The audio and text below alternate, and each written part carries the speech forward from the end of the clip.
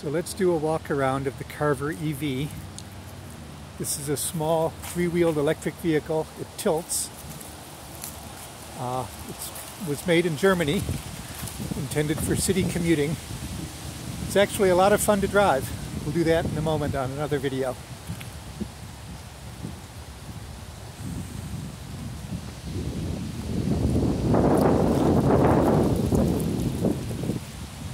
It has some shipping damage from getting it here.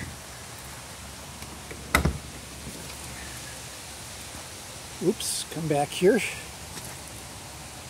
There we go. Both doors open.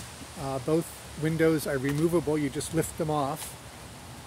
You uh, loosen those bolts and lift them off. Here's the interior. It does have room for two. There are there's a adjustable seat here and a fixed seating position in the back. It's a little cramped. You could call it a one plus one.